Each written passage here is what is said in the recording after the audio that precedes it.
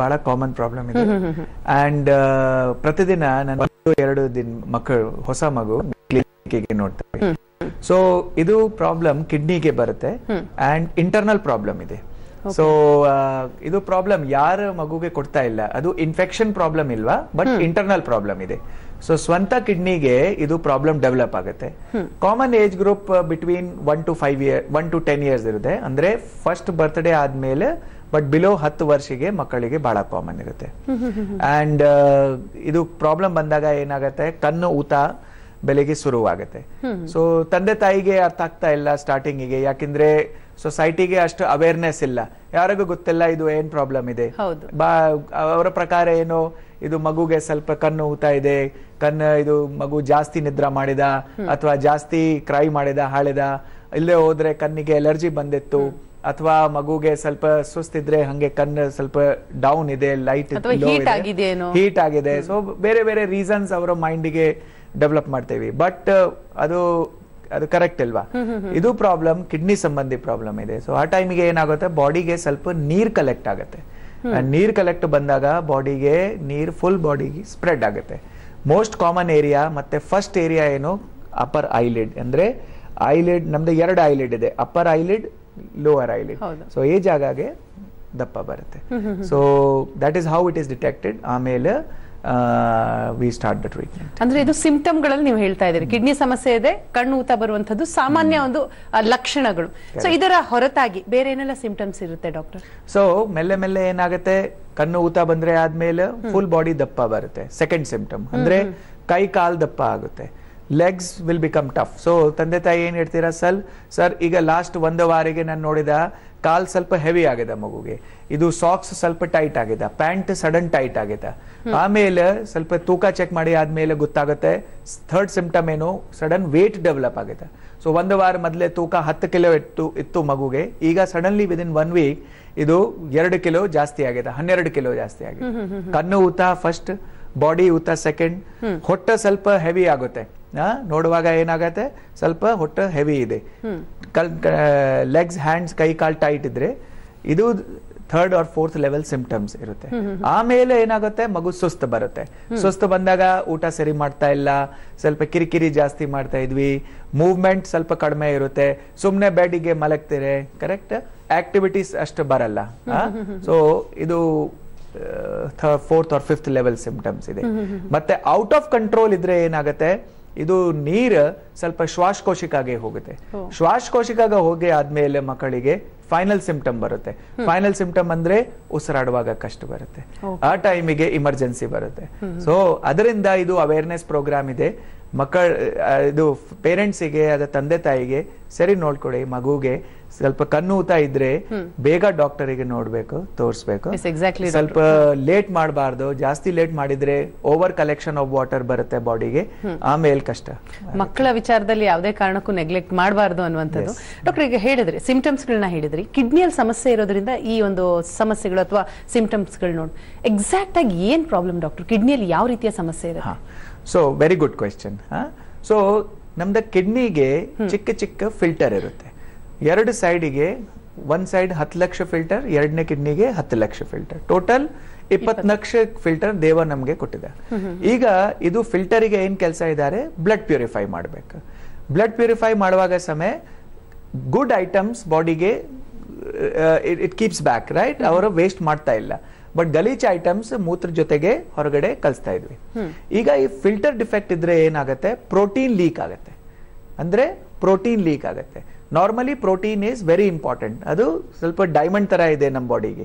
Because full body ನಮ್ಗೆ protein ಬಗ್ಗೆ develop ಆಗುತ್ತೆ. ಈಗ ಪ್ರೋಟೀನ್ ಲೀಕ್ ಬಂದಾಗ ಏನಾಗುತ್ತೆ? ಸಡನ್ ಬ್ಲಡ್ ಪ್ರೋಟೀನ್ ಕಡಿಮೆ ಆಗುತ್ತೆ.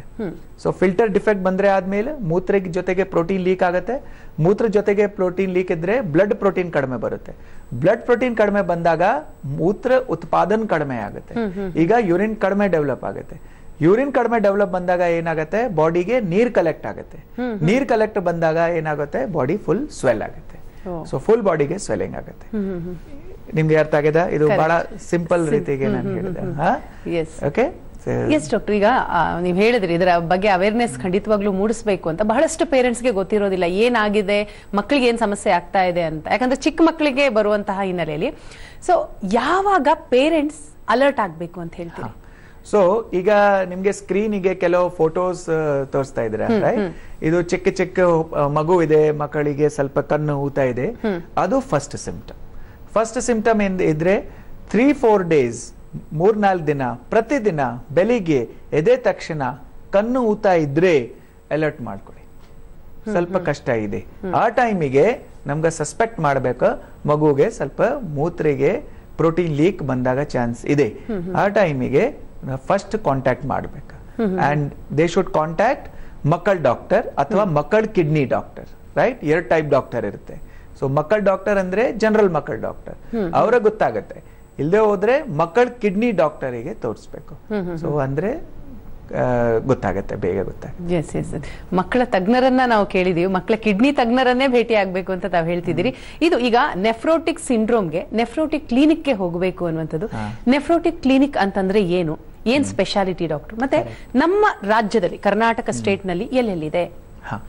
So nephrotic clinic is a thought right. ಇದು ಒಂದು ಹೊಸ ಟೈಪ್ ಕ್ಲಿನಿಕ್ ಇದೆ. ಯಾಕೆಂದ್ರೆ ಬಹಳ ತುಂಬಾ ಪೇಷಂಟ್ಸ್ ಇದೆ ಬಟ್ ಅವೇರ್ನೆಸ್ ಇಲ್ವಾ? ಮತ್ತೆ ಡೆಡಿಕೇಟೆಡ್ ಟ್ರೀಟ್ಮೆಂಟ್ ಮಾಡುವಾಗ ಜಾಗ ಇಲ್ವಾ? ಸೊ ಈಗ ಹಾರ್ಟ್ ಪ್ರಾಬ್ಲಮ್ ಇದ್ರೆ ನಮ್ದು ಹಾರ್ಟ್ ಹಾಸ್ಪಿಟಲ್ ಇರುತ್ತೆ.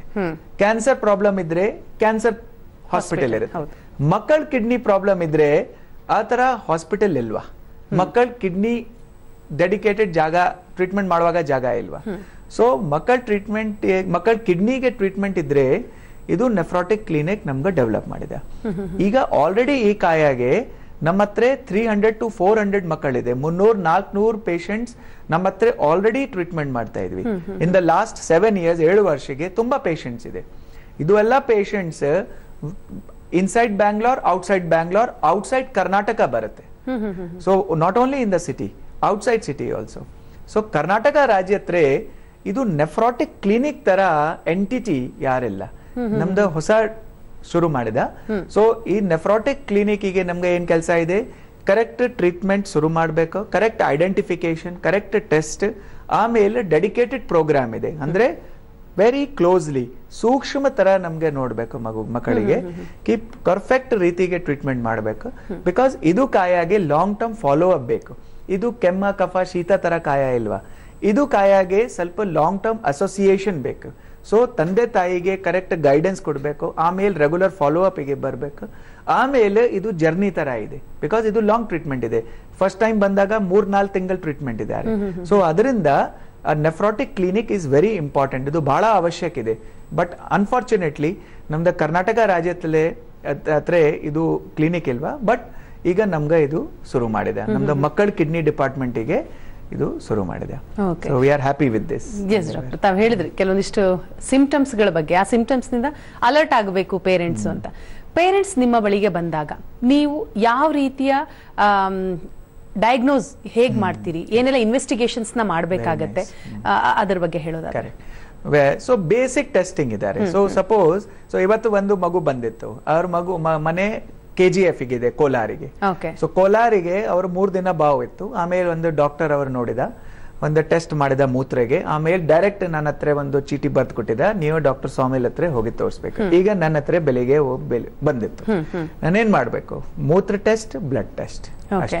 ಮೂತ್ರ ಟೆಸ್ಟಿಗೆ ನಮ್ಗೆ ಫಸ್ಟ್ ನಮ್ಗೆ ಫಿಸಿಕಲ್ ಚೆಕಪ್ ಮಾಡ್ಬೇಕು. ನೋಡೋಣ ಎಷ್ಟೆಷ್ಟು ಜಾಗಾಗೆ ಬಾವು ಇದೆ. ಕಣ್ಣು ಬಾವು ಇದೆ ಹೊಟ್ಟೆ ಬಾವು ಇದೆ ಕೈ ಕಾಲ್ ಬಾವು ಇದೆ. ಆಮೇಲೆ ಶ್ವಾಸಕೋಶಿಕಗೆ ಬಾವು ಇದೆ. ಜೊತೆಗೆ ಬೀಜಿಗೆ ಬಾವು ಬರುತ್ತೆ. ಬೀಜಿಗೆ ಬಾವು ಬಂದಾಗ ಬಹಳ ಕಷ್ಟ ಇರುತ್ತೆ. ಸೊ ಬಾಯ್ಸಿಗೆ ಸ್ವಲ್ಪ ಮೂತ್ರ ಜಾಗಾಗೆ ಬೀಜಿಗೆ ಬಾವು ಇದ್ರೆ ಅವರ ನಡಕ ಆಗಲ್ಲ. ಬಹಳ ಕಷ್ಟ ಇರುತ್ತೆ. ಚಿಕ್ಕ ಹುಡುಗಿಗೆ ಬೆಜಾಯಿನ ವಲ್ವಾ ರೀಜನ್ ರೀಜನ್ಗೆ ಬಾವು ಇದ್ರೆ ಅವರ ವಾಕಿಂಗ್ ಮಾಡಕ್ಕಾಗಲ್ಲ. ಬಹಳ ಸ್ಯಾಡ್ ಸಿಚುವೇಶನ್ ಇರುತ್ತೆ. ಸೊ ಫಸ್ಟ್ ನಮ್ಗೆ ಫಿಸಿಕಲ್ ಚೆಕಪ್ ಮಾಡ್ಬೇಕು. ಸೆಕೆಂಡ್ ಮೂತ್ರ ಟೆಸ್ಟ್ ಮಾಡಬೇಕು. ಮೂತ್ರ ಟೆಸ್ಟಿಗೆ ನಮ್ಗೆ ನೋಡ್ಬೇಕು ಮಗುಗೆ ಎಷ್ಟು ಪ್ರೋಟೀನ್ ಇದೆ ಜೊತೆಗೆ ಕೆಂಪು ರಕ್ತ ಕಣ ಇದೆ ಮೂತ್ರ ಜೊತೆಗೆ ಬಿಕಾಸ್ ಇದು ಈ ಕಾಯಾಗೆ ವೆರಿ ರೇರ್ಲಿ ಕೆಂಪು ರಕ್ತ ಕಣ ಬಂದಾಗ ಚಾನ್ಸ್ ಇರುತ್ತೆ. ಸೆಕೆಂಡ್ ಒಂದು ಬ್ಲಡ್ ಟೆಸ್ಟ್ ಬ್ಲಡ್ ಟೆಸ್ಟಿಗೆ ನಮ್ಗೆ ನೋಡೋಣ ಕಿಡ್ನಿಗೆ ಕೆಲಸ ಹೇಗೆ ಇದೆ ಕಿಡ್ನಿ ಕೆಲಸ ಚೆನ್ನಾಗಿ ಮಾಡ್ತಾ ಇದ್ವಿ ಅಥವಾ ಮಾಡೋದಿಲ್ಲ ಬ್ಲಡ್ಗೆ ಪ್ರೋಟೀನ್ ಹೇಗೆ ಇದೆ ಬ್ಲಡ್ ಕೊಲೆಸ್ಟ್ರಾಲ್ ಹೇಗೆ ಇದೆ ಕೆಲಸ ಎಲ್ಲ ಕೊಲೆಸ್ಟ್ರಾಲ್ ಜಾಸ್ತಿ ಆಗುತ್ತೆ. ಆಮೇಲೆ ಸೋಡಿಯಂ ಪೊಟ್ಯಾಷಿಯಂ ಕ್ಲೋರೈಡ್ ಹೇಗೆ ಇದೆ? ಇದು ಎಲ್ಲ ಟೆಸ್ಟ್ ಮಾಡಿದ್ರೆ ನಮ್ಗೆ ಗೊತ್ತಾಗುತ್ತೆ ಇದು ಕಾಯ ಇದೆ. ಆಮೇಲೆ ನಮ್ಗೆ ಟ್ರೀಟ್ಮೆಂಟ್ ಶುರು ಮಾಡಿ ಎಸ್ ಡಾಕ್ಟರ್ ಟ್ರೀಟ್ಮೆಂಟ್ ಬಗ್ಗೆ ಮುಂದಿನ ಹಂತದಲ್ಲಿ ತಿಳ್ಕೊಳ್ತೀನಿ. ಈಗ ಒಂದು ಚಿಕ್ಕ ಬ್ರೇಕ್ ಇರುತ್ತೆ. ಬ್ರೇಕ್ ನಂತರ ಡಿಯರ್ ಡಾಕ್ಟರ್ ಕಾರ್ಯಕ್ರಮ ಮತ್ತೆ ಮುಂದುವರಿಯುತ್ತೆ.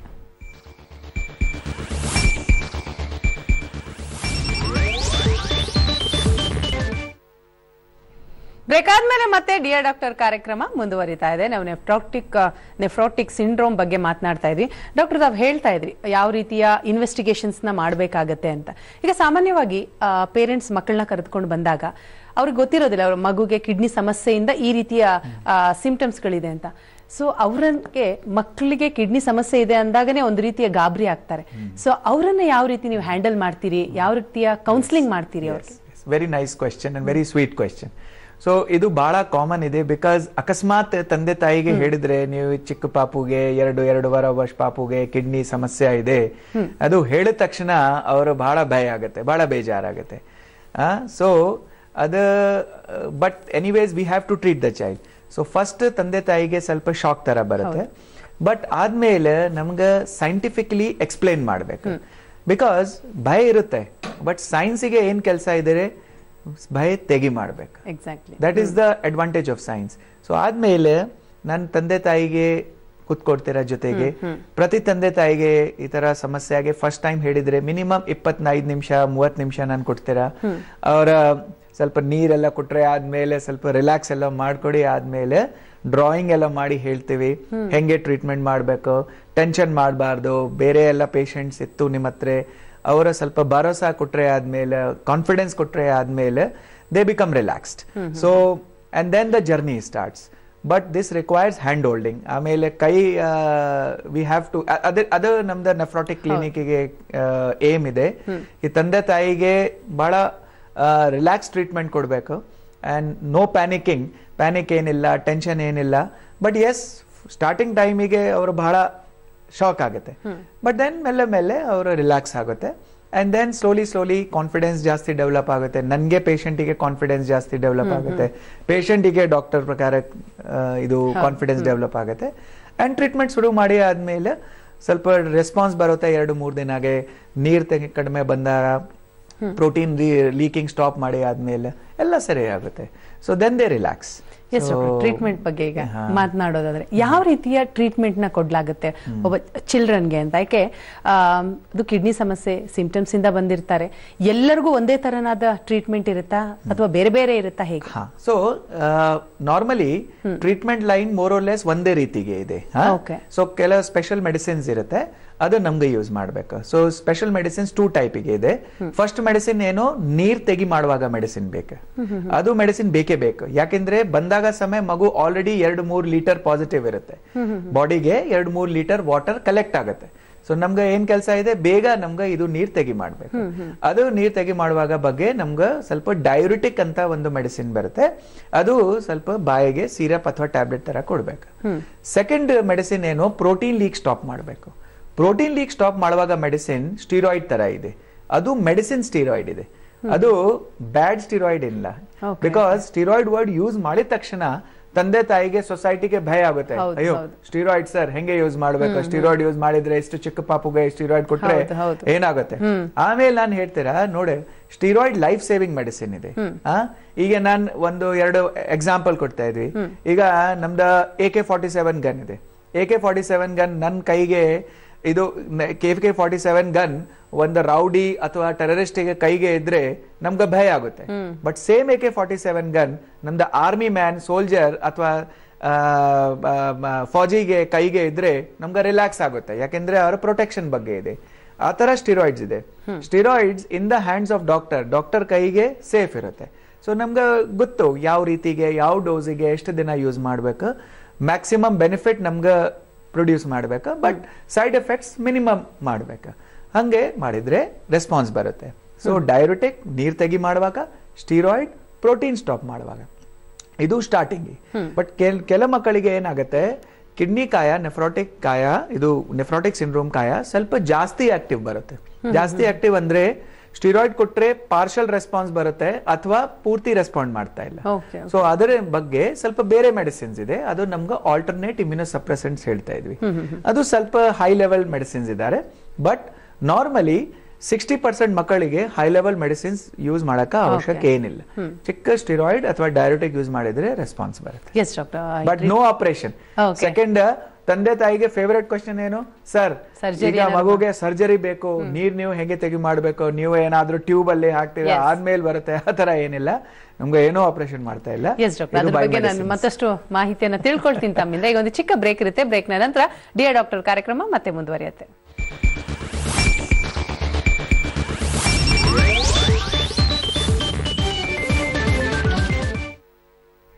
ಬ್ರೇಕ್ ಮೇಲೆ ಮತ್ತೆ ಡಿಯರ್ ಡಾಕ್ಟರ್ ಕಾರ್ಯಕ್ರಮ ಮುಂದುವರಿತಾ ಇದೆ. ಕಾಲರ್ ಇದ್ದಾರೆ. ಗೌರಿ ಬಿದನೂರಿನಿಂದ ರಾಜೇಶ್ ಅವರು ಕರೆ ಮಾಡಿದ್ದಾರೆ. ನಮಸ್ತೆ ರಾಜೇಶ್ ಅವರೇ. ಮೇಡಮ್ ನಮಸ್ಕಾರ ಮೇಡಮ್ ಡಾಕ್ಟರ್ ಇದ್ದಾರೆ. ತಮ್ಮ ಪ್ರಶ್ನೆ ಕೇಳಿ ಮಾತಾಡಿ. ಹಾ ಮೇಡಮ್ ಸರ್ ನಮಸ್ಕಾರ. ನಮಸ್ಕಾರ. ಸರ್ ನನ್ನ ಮಗಳು six years baby girl okay. ಅವಳಿಗೆ ಟೂ ಇಯರ್ಸ್ ಇಂದ ನೆಫ್ರೋಟಿಕ್ ಸಿಂಡ್ರೋಮ್ ಕಣ್ಣೆಲ್ಲ ಬಾತ್ಕೊಂಡ್ಬಿಟ್ಟು ಹ್ಮ್. ಅದೇ ಯೂರಿನ್ ಇನ್ಫೆಕ್ಷನ್ ಇನ್ನು ತ್ರೀ ಪ್ಲಸ್ ಆ ಆತರ ಬರೋದು. ಅದು ಕಮ್ಮಿನೇ ಆಗಲ್ಲ ಸರ್. ಟ್ಯಾಬ್ಲೆಟ್ ತಗೊಂಡವಾಗ ಕಮ್ಮಿ ಆಗ್ಬಿಡುತ್ತೆ. ಹಾ. ಮತ್ತೆ ಅವರಿಗೆ ಕೋಲ್ಡ್ ಕೋಲ್ಡ್ Cold ಕೆಮ್ಮ ಬಂದಾಗ? ತಿಂದ್ರು ಕೋಲ್ಡ್ ಆಗ್ಬಿಡುತ್ತೆ ಕೆಮ್ಮ ಶೀತ ಕೋಲ್ಡ್ ಅಥವಾ ಜ್ವರ ಬಂದಾಗ ತಿರ್ಗಾ ಬರುತ್ತೆ. ಕರೆಕ್ಟ್ ಸೊ ಈಗ ಈಗ ನಿಮ್ ಮಗುಗೆ ಕಾಯ ಎರಡನೇ ವರ್ಷಕ್ಕೆ ಶುರು ಆಗಿದೆ ಈಗ ಮಗು ಆರನೇ ವರ್ಷ ಆಗಿದೆ. ಕರೆಕ್ಟ್ ಸರ್ ಈಗ ಟೂ ಇಯರ್ಸ್ ಇಂದ last two years last two ಇಯರ್ಸ್ಗೆ okay ಹೌದು. ಸೊ ಅದರ ನಾನು ಈಗ ಶೋಗೆ ಮಾತಾಡ್ತೀರಾ ಮಾತಾಡಿದ ಈಗ ನೀವು ಮಗುಗೆ ಈಗ more than two three times ಬಂದಾಗ ಈಗ ಬೇರೆ ಟ್ರೀಟ್ಮೆಂಟ್ ಸ್ವಲ್ಪ ಕೊಡಬೇಕು. ಯಾಕೆಂದರೆ ಬರೀ ನಿಮಗೆ ಡಾಕ್ಟರ್ ಅಲ್ಲಿ ಸ್ಟೀರಾಯ್ಡ್ಸ್ ಕೊಡ್ತಾ ಇದ್ವಿ. ರೈಟ್ ಪ್ರೆಡ್ನಿಸಲೋನ್ ಅಥವಾ ವೈಸಲೋನ್ ಅಂತ ಮಾತ್ರೆ ಇದೆ? ಏನ್ ಮಾತ್ರೆ ಕೊಡ್ತಾ ಇದ್ವಿ ನಿಮಗೆ? ಹಲೋ ವೈಸ್ಲಾನ್ ಹಾ. ಸೊ ಅದು ವೈಸಲೋನ್ ಮಾತ್ರೆ ಕೊಟ್ಟರೆ ರೆಸ್ಪಾನ್ಸ್ ಬರುತ್ತೆ ಆಮೇಲೆ ತಿರ್ಗಾ ಸ್ಟಾಪ್ ಆಗುತ್ತೆ. ಸೊ ಅದರ ಬಗ್ಗೆ ಸ್ವಲ್ಪ ಬೇರೆ ಮಾತ್ರೆ ಇದ್ದಾರೆ ಅದು ಬೇರೆ ಮಾತ್ರೆ ನಮಗೆ ಮಗುಗೆ ಚೆಕಪ್ ಮಾಡಿ ಆದ್ಮೇಲೆ ಯೂಸ್ ಮಾಡೋಣ. ಅದು ಬೇರೆ ಮಾತ್ರೆ ಯೂಸ್ ಮಾಡಿದ್ರೆ ಇದು ಫುಲ್ ಕಂಟ್ರೋಲ್ ಮಾಡಿ ಆಗುತ್ತೆ.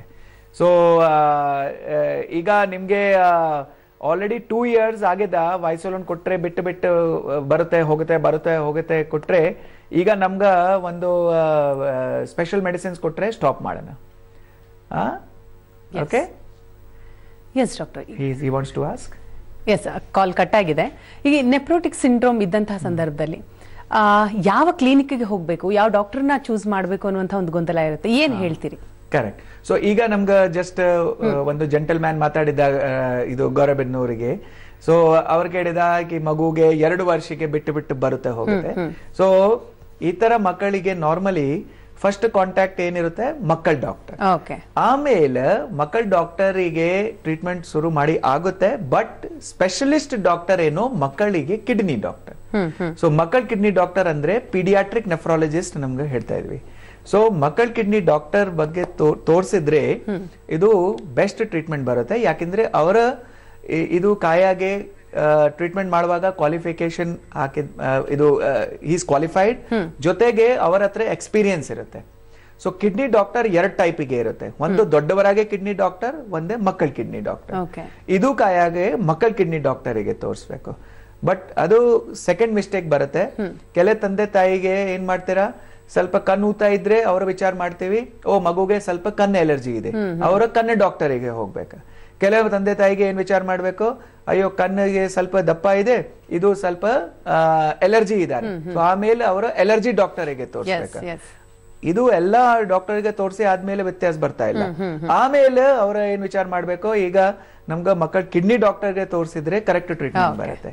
So they have to meet a paediatric nephrologist and ಹಂಗೆ ಕರೆಕ್ಟ್ ವಿಚಾರವನ್ನ ವೀಕ್ಷಕರಿಗೆ ತಿಳಿಸ್ಕೊಟ್ಟಿದ್ದಕ್ಕಾಗಿ. So my closing comments is okay okay ಹಾ. ಸೊ ಇದು ಕಾಮನ್ ಬಹಳ ಕಾಮನ್ ಪ್ರಾಬ್ಲಮ್ ಇದೆ ಮಕ್ಕಳಿಗೆ. ಅಂಡ್ ಕಿಡ್ನಿ ಪ್ರಾಬ್ಲಮ್ ಸಾಲ್ವ್ ಮಾಡೇ ಆಗುತ್ತೆ. ಬೇಗ ಟ್ರೀಟ್ಮೆಂಟ್ ಮಾಡಿ ಮಾಡಿದ್ರೆ ಬೇಗ ರೆಸ್ಪಾನ್ಸ್ ಬರುತ್ತೆ. ಜಾಸ್ತಿ ದಿನ ವೇಟ್ ಮಾಡಿದ್ರೆ ಸ್ವಲ್ಪ ಟೈಮ್ ಸ್ವಲ್ಪ ಜಾಸ್ತಿ ದಿನ ಟ್ರೀಟ್ಮೆಂಟ್ ಮಾಡಿ ಆಗುತ್ತೆ. ಯಾವ ಪಾಪುಗೆ ಬಿಟ್ಟು ಬಿಟ್ಟು ಸ್ವೆಲ್ಲಿಂಗ್ ಬಂದಾಗ ಸರಿ ಇಲ್ವಾ? ಬಿಟ್ಟು ಬಿಟ್ಟು ಸಲ ಬಂದಾಗ ಸ್ಪೆಷಲಿಸ್ಟ್ ಮಕ್ಕಳ ಕಿಡ್ನಿ ಡಾಕ್ಟರ್ ಹತ್ರ ತೋರಿಸ್ಬೇಕು. ನಮ್ಮ ಹತ್ರ ನೆಫ್ರಾಟಿಕ್ ಕ್ಲಿನಿಕ್ ಇದಾರೆ ಇದು ಕಾಯಾಗೆ. ನಮ್ಮ ಹಾಸ್ಪಿಟಲಿಗೆ ಅವ್ರು ಬಂದ್ರೆ. ತೋರಿಸಿ ನಮ್ಗೆ ಟ್ರೀಟ್ಮೆಂಟ್ ಮಾಡಿ ಆಗುತ್ತೆ. If you cannot come to us please go to ಯಾವ ಟೌನಿಗೆ ಇದ್ರೆ ಅಲ್ಲಿ ಮಕ್ಕಳ ಕಿಡ್ನಿ ಡಾಕ್ಟರಿಗೆ ತೋರಿಸ್ಬೇಕು. Yes. And I think she should be fine and it is completely treatable condition. ಯಾರು ಭಯ ಪಡ್ಬೇಕಾಗಿಲ್ಲ ಯು ಹೇಳ್ತೀರಿ. Thank you, thank you